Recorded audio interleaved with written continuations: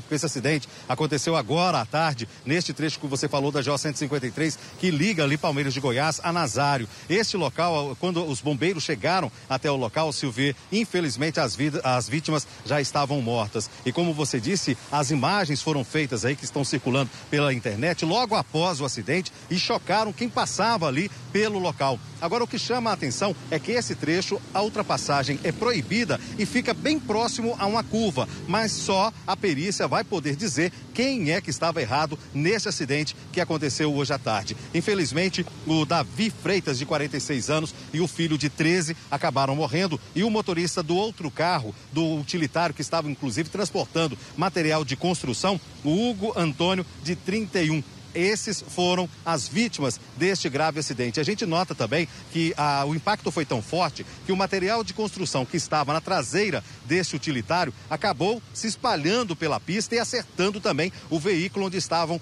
pai e filho. E como você disse, infelizmente, este grave acidente para a gente é, começar aí é, essa terça-feira em luto. Silvia.